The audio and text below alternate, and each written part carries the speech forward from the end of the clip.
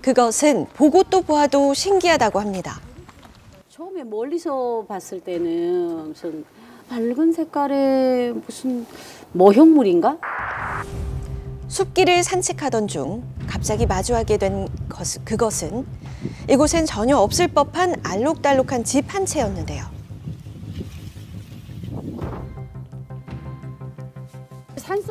산속에 집이나 뭐 절간이나 이런 것들은 제가 본 적은 있는데 뭐 색깔이나 그런 모양들 봐서도 좀 특이했어요. 저 조금만 올라가면 숲속에 자리 잡은 특이한 집 한 채. 과연 이 집의 정체는 무엇일까요? 제보자가 알려준 대로 숲속 길을 한참 걷다 보니 드디어 제보 영상 속 그 집과 마주했습니다. 무엇보다 눈길을 사로잡는 건 알록달록한 색상. 동화 속에서나 나올 법한 아기자기한 색상의 집 한 채는 숲속 한가운데 덩그러니 놓여 있었는데요. 독특한 모습으로 궁금증을 자아내는 집. 혹시 누군가 살고 있진 않을까요? 들어가 보려 했지만 입구는 굳게 닫힌 채 출입을 허락하지 않았는데요. 대체 이 집의 정체는 무엇일까요? 이게, 이게 뭐냐고 그러는데 모르겠어요. 뭐, 왜 이렇게 해놨는지도 모르겠어. 맨날 왔다 갔다 해도 이게 뭐지 그냥 그러고 그전에는 없었어요. 20년 가까이 됐어요.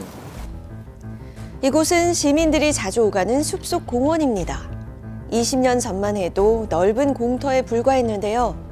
어느 날 갑자기 생겨난 집 한 채는 사람들의 발길을 잡아 끌지만 도통 그 용도는 알 수 없다는데요.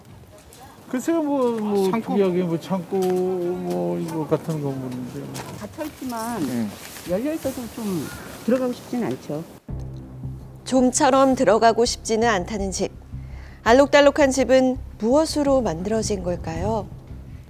그냥 사, 저, 저 소주 깨쩍 싸놓은 거 아니? 박스 있잖아요. 맥주 박스 이렇게 하면 병 이렇게 넣는 거 그런 걸로 지- 지은 것 같거든요. 이게. 집의 외벽은 정말 우리가 흔히 볼 수 있는 플라스틱 상자가 맞는 걸까요? 집을 조금 더 자세히 들여다봐야겠습니다.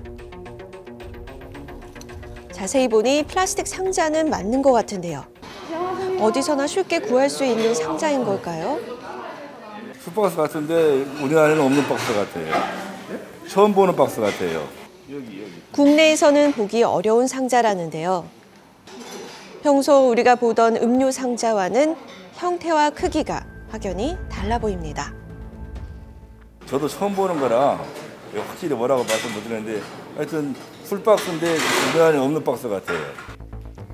여기서는 본 적 없다는 플라스틱 상자집. 여러 색깔의 상자는 국내 어디에서도 생산하지 않는 제품이었는데요. 그렇다면 상자는 모두 몇 개나 될까? 제작진이 직접 세보기로 했습니다. 거의 1,440개 정도 되는 것 같아요. 1,440개의 상자를 쌓아 올린 집은 지붕도 올려져 있는 상태. 건물이라는 걸 지으려면 목적이 있잖아요. 아 여기에 무슨 사람이 산다거나 근데 이 집은 뭔가 미스터리한 거예요. 다른 곳에서도 보기 어렵고 목적도 도통 알 수 없는 이상한 집. 그 정체를 파악하기 위해 건축 전문가를 만나 자문을 구해보기로 했습니다. 이런 하나하나 조각조각들이 붙여서 이 모듈이 이루어져서 하면 하나 모듈러 주택의 하나의 그 가능성을 보여주는 그런 한 예로 저- 여겨집니다. 이것은 건축의 삼요소인 기능, 구조, 미, 삼요소를 갖추지 못하고 있어요. 사용해야지 건축물이지 사용하지 않으면 조형물일 수밖에 없습니다. 미스터리한 집이 건축물이 아니라는 이야기. 알 수 없는 집의 비밀을 풀어줄 또 다른 일을 만나봤는데요. 이거는 정확하게 말씀드리면은 독일에서 온 음료 박스가 되겠습니다. 생수 박스죠. 어, 이게 독일에서 온 상자라고요? 공공미술 작품으로 많이 활동을 하고 계시는 독일의 볼프강 빈터와 베르톨트 회르벨트라는 두 독일 작가가 같이 공동으로 만든 그런 작품이 되겠습니다. 알고 보니 집의 정체는 약 20년 전 만들어진 전시 작품이었는데요. 독일에서 직접 상자까지 공수해오며 집을 지은 이유는 무엇일까요?